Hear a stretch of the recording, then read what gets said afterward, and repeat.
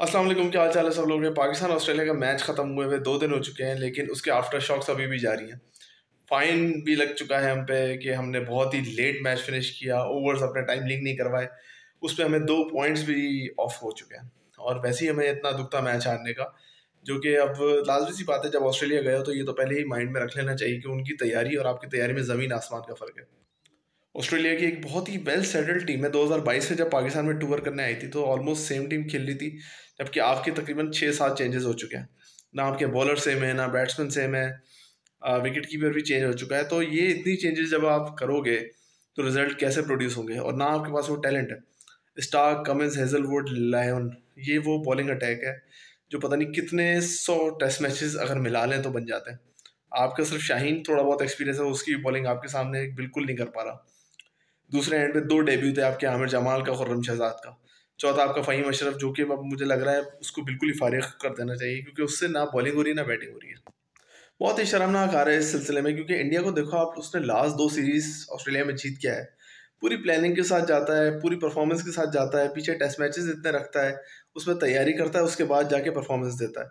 अब पाकिस्तान बोर्ड उससे ज़्यादा कुछ भी नहीं करता, ना परफॉर्मेंस दिखा पाता है, ना पीछे टेस्ट मैचेस अच्छे अरेंज कर पाता है, ना टीम को इतना अच्छा ग्रूम कर पाता है, ना फ़र्स्ट क्लास में इतने मैचेस करवाता है प्लेयर्स को ग्रूम करने के लिए और वो एक्सपेक्ट करता है कि ऑस्ट्रेलिया में जाके जीत जाएँगे।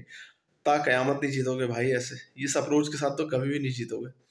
तो बॉलिंग में आप फ्लॉस थे बैटिंग में फ्लॉस थे बैटिंग अप्रोच सही नहीं थी, जो बंदा खेल रहा है, उसको ये नहीं पता, वो उसको कब तक खेलना है, वो स्टिक नहीं कर रहा, वो अपनी विकेट फेंक के जा रहा है। तो सारे ही बैट्समैन फॉल्ट पे थे और एक भी बैट्समैन आपका नहीं चला। सिर्फ़ इमाम ने थोड़ा बहुत स्ट्रगल किया, मगर उसने भी बहुत ही स्लो इनिंग्स खेली। तो हमारे बैट्समैनों को कुछ सीखना चाहिए ऑस्ट्रेलियन बैट्समैन से कि भाई, कोई तो परफॉर्म करे, कोई तो खड़ा हो कि नहीं यार, मैं ऑस्ट्रेलियन की बॉलिंग को खेलूँगा। बाबर से उम्मीद थी, बाबर को जिस तरीके से उन्होंने आउट किया है, बहुत ही प्लानिंग के साथ आ रहे हैं। बाबर को वो खेलने नहीं देंगे पूरी सीरीज़ में, जो लग रहा है। तो इन राजून सब लोग पढ़ लें और ऑस्ट्रेलिया से थ्री ज़ीरो की उम्मीद लगा लें। बहुत ही कोई रेयर हो गया, कोई बहुत से चल गया तो छोटी मोटी परफॉर्मेंस आ सकती थी, लेकिन वो भी नहीं आई। और अब फ्यूचर में आ सकती हैं तो ये भी देखना पड़ेगा।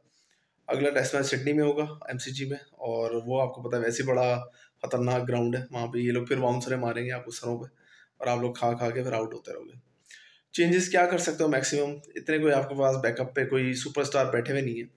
सरफराज की जगह आप रिजवान को ले आओगे, फ़हीम की जगह पे आप वसीम जूनियर को ले आओगे, और और अबरार तो है नहीं। नुमान अली को आगा अली सलमान की जगह ले आओगे या कोई एक फास्ट बॉलर बिठा के नुमान अली को ले आओगे? तो ये मैक्सिमम चेंजेस हैं। साइम अयूब को नहीं ला सकते अभी इमाम की जगह। साइम अयूब के साथ बहुत ज़्यादती हो जाएगी ये। उसको टी ट्वेंटी और वनडे में ही फ़िलहाल रहने दो। वनडे में भी अभी तो डेब्यू कराएँगे उसको।